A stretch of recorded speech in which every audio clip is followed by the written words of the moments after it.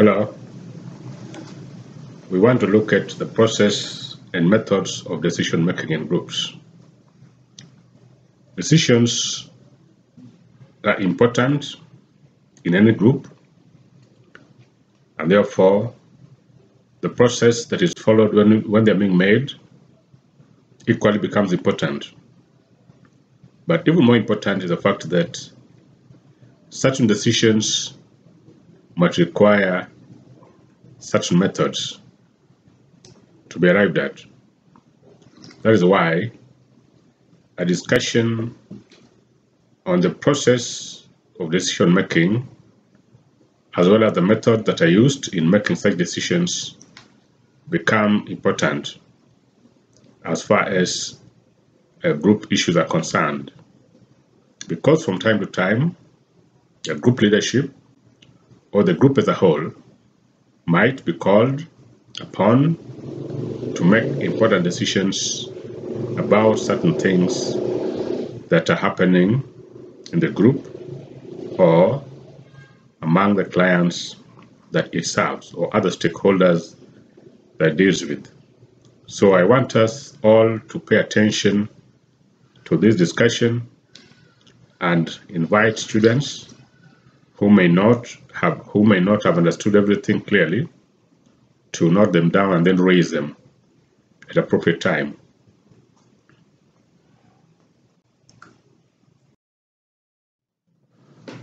Let us begin by having some preliminary discussion about this topic and I wish to observe that decision making involves choosing a course of action after careful considerations. A decision can be understood as any course of action which is consciously chosen from among set alternatives to achieve a desired result. In other words, it is the understanding that achieving a given result or pursuit of a given issue might require different ways of doing it. And these are what we call alternatives.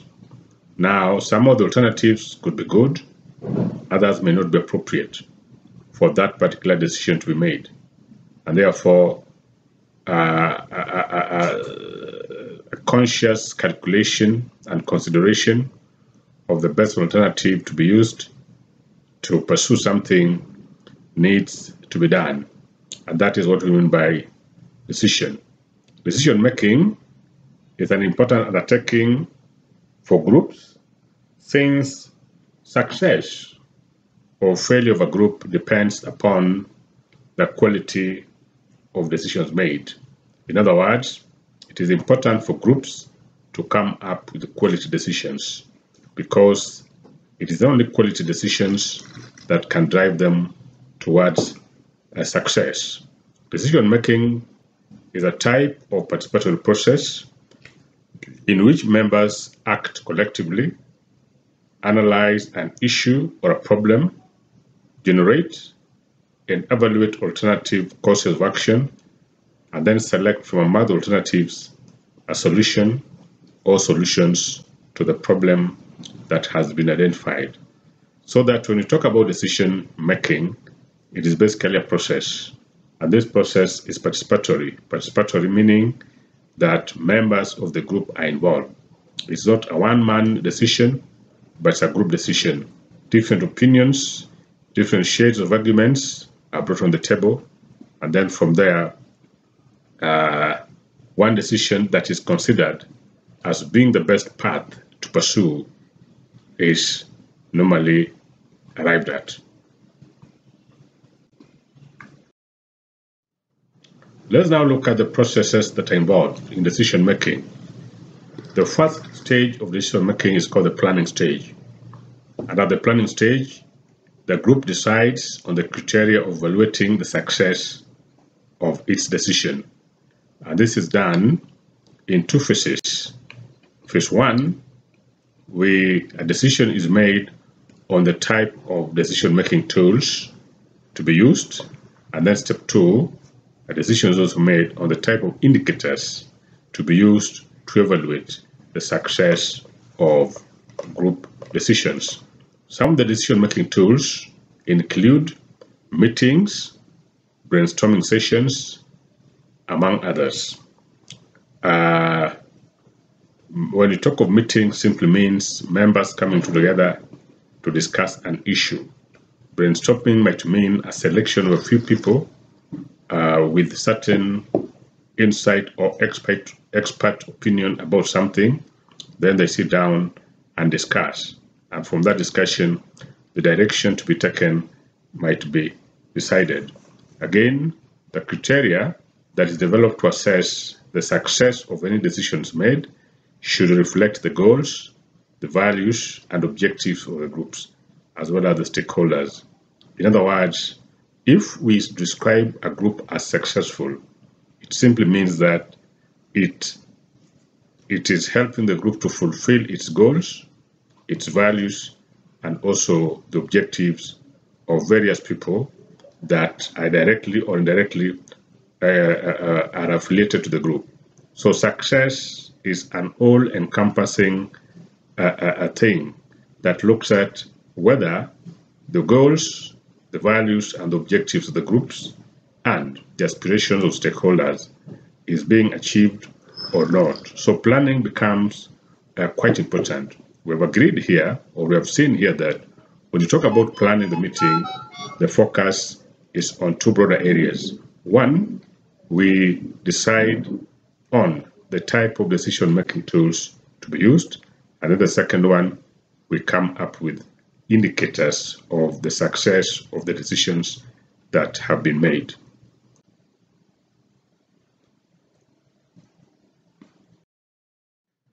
The second process in the decision making is what we call determining alternatives. The stage of determining alternatives means that the group or the person facilitating the, the, the, the meeting can help group members to generate and select several alternatives to the decisions. When you talk about alternatives, they can range between five to nine or less uh, these alternatives are what are considered as the pathways to solving the problem or the issue that has been identified. So we are saying that when we are determining alternatives, first we generate a given number of alternatives, say five to nine, and then each of these alternatives is discussed in detail. The, the pros and cons of each is looked into, and then they are eliminated or chosen based on the strength of, or based on their strength or weaknesses. And the group may also make reference to previous decisions on issues that bear similarities with previous ones. Indeed, if a decision is to be made and on an issue that has occurred in the organization before, there is nothing wrong for group leadership to look into the records and establish how previous issues were resolved. And if they were resolved success successfully and the circumstances still remain, then nothing bars the group leadership and its members from adopting the previous solutions to a problem in addressing the problem that the group, the group is currently facing.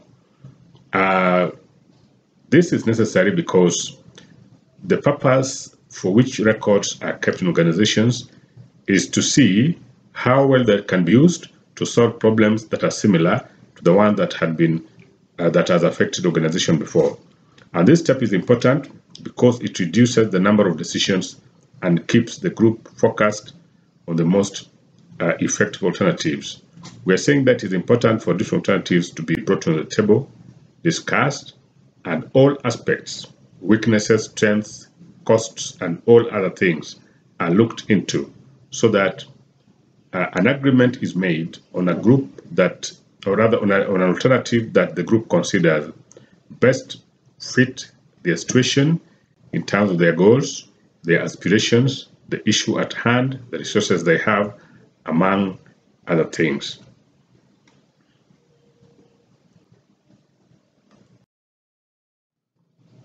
Once different alternatives have been generated, they have been discussed, then the decision-making process moves to the next stage, and this is the stage that we call selection of best alternatives.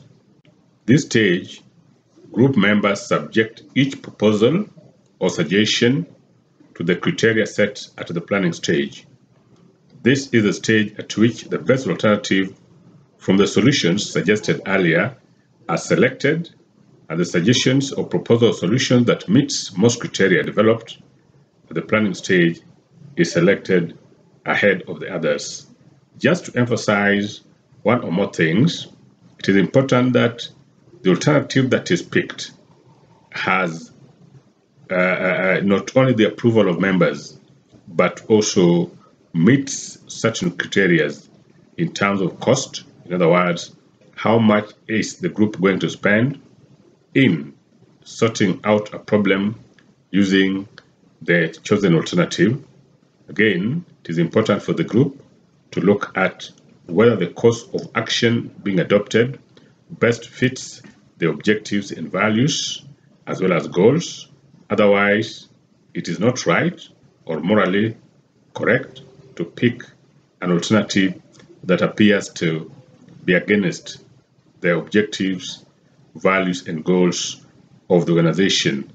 Again, it might also be important for groups to be convinced that the alternative they are picking can work, especially if it has worked elsewhere. If it indeed has worked elsewhere, then uh, it should be chosen on the basis of its strength, on the basis of the fact that it has worked elsewhere in solving a problem or an issue that is similar to the one that it is being proposed to address. So all these factors need to be considered when a given alternative uh, uh, uh, is being chosen. The whole criteria here is that the best alternative picked or the course of action picked should be the one that the group considers as the best. And being best means it meets certain standards, certain criteria, and it has also been, been proven as being successful in resolving a problem that is similar to the one that the group is currently uh, facing. The next stage of decision-making process is called the deployment. And at the deployment stage, groups bring their decisions into reality. And it involves determining the actions and tasks that follow the final decision. It also includes guiding requirements on how to organize the process. Deployment basically means that the given alternative has been picked and once it has been picked, the next thing is to use that alternative to solve the problem that the group had identified as requiring a decision. So deployment simply means the actions that follow the, act, the implement, or, or rather the, the implementation stage of the decision-making process. So, for instance, if there's a problem of poverty in society and uh, the groups decided that one way of resolving or, or, or, or solving poverty in society is providing financial grants to other groups such as the youth to engage in business activities. Then the issue is that now at this stage, uh, grants, financial grants begin to be given. Youths are brought together, trained, given grants so that the implementation stage of the decision-making process now begins, and then it allows to move and to see whether issues of poverty that the group envisaged could be sorted out by providing grants to groups or to individuals to help them uh, engage in income generating activities is actually working and is helping in solving the problem. So deployment simply means putting into action a decision that has been arrived at for purposes of solving the problem that was identified at the, at the, at the initial stage.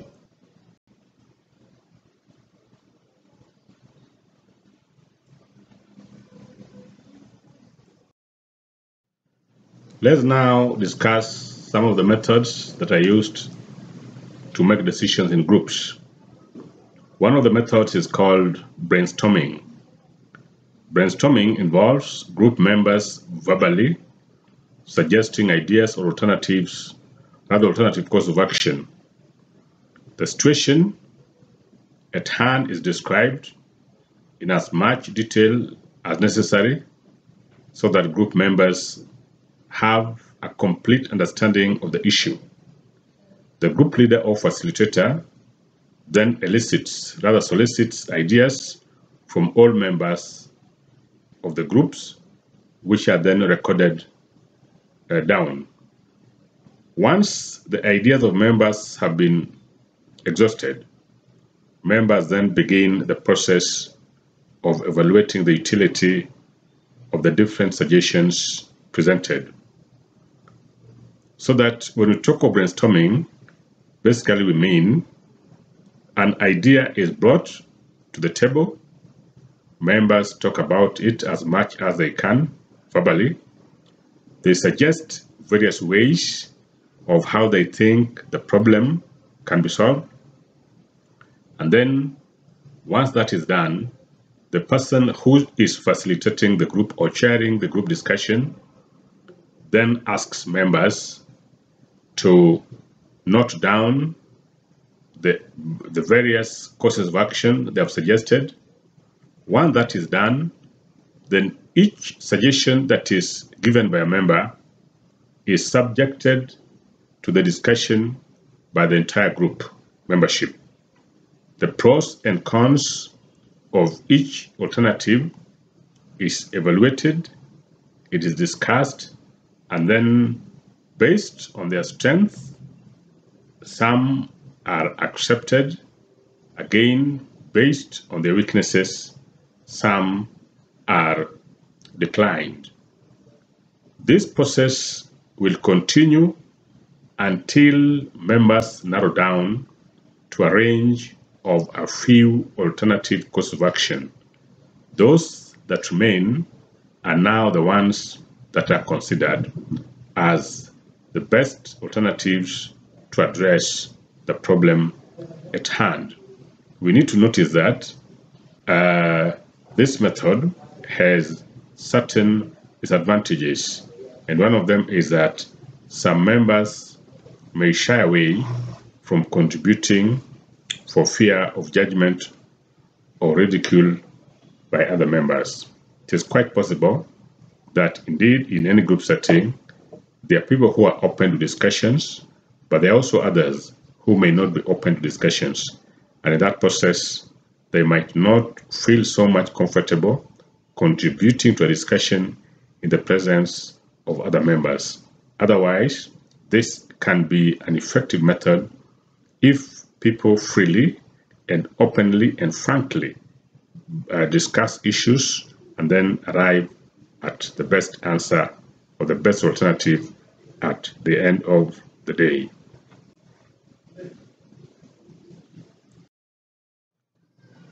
The other method of decision making in a group is called the dialectical method. And this method involves dividing the group into opposing sides,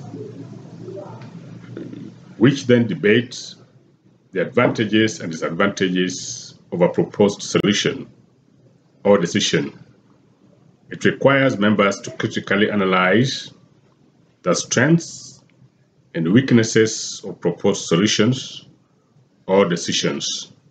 The method is preferred where groups want to establish all possible ramifications of their decisions.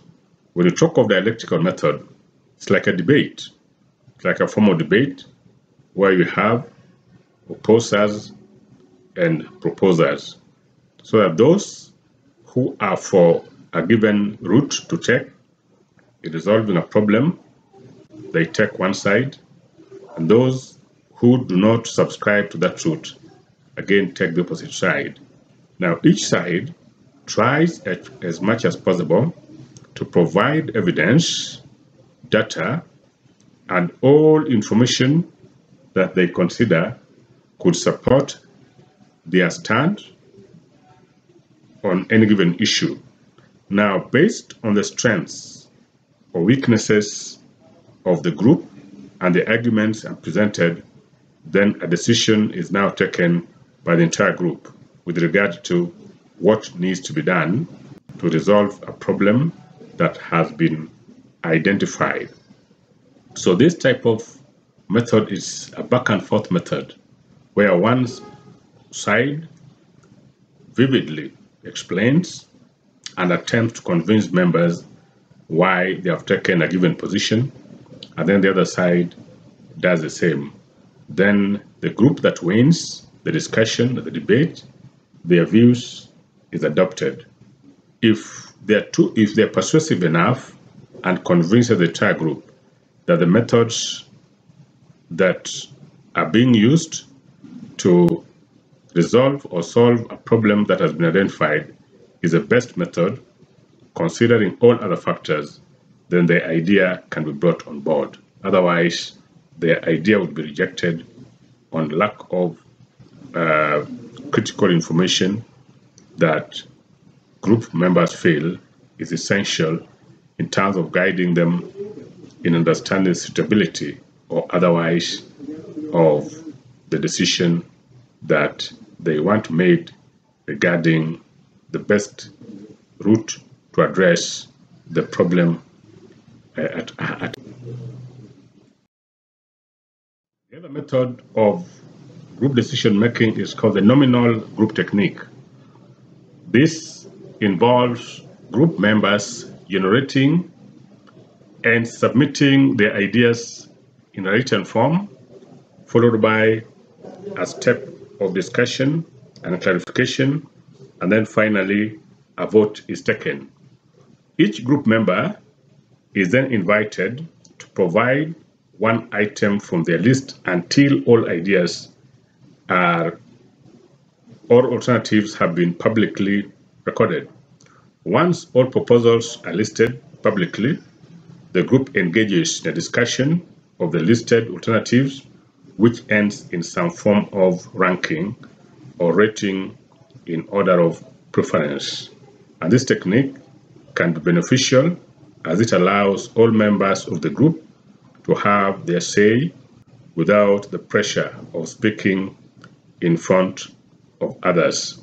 So when you talk about nominal group technique, basically what we mean is that an individual generates ideas at his own level, and then these ideas, once they have been written down by individuals, they are now shared to the group uh, uh, uh, uh to the group leadership.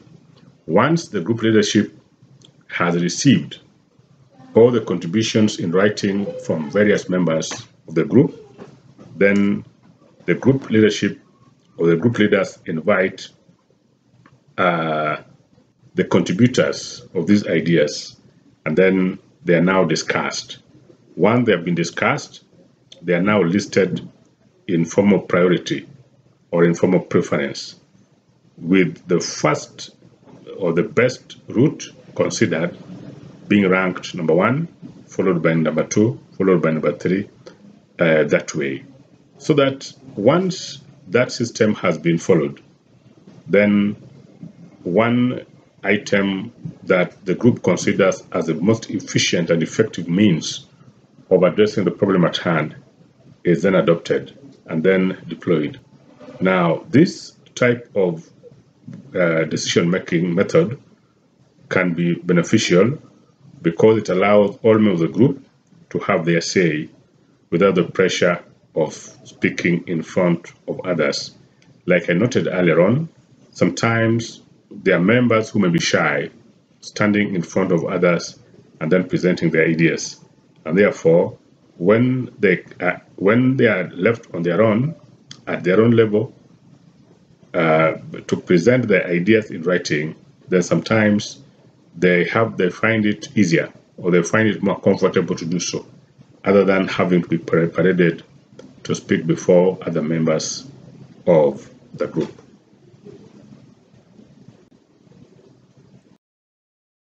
The other method of decision making is called the Delphi technique. It's a group decision making method that is used when group members are in different physical locations.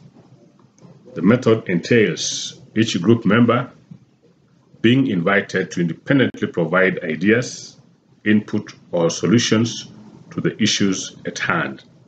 The ideas or suggestions may be provided online, by mail, or by electronic uh, uh, boards.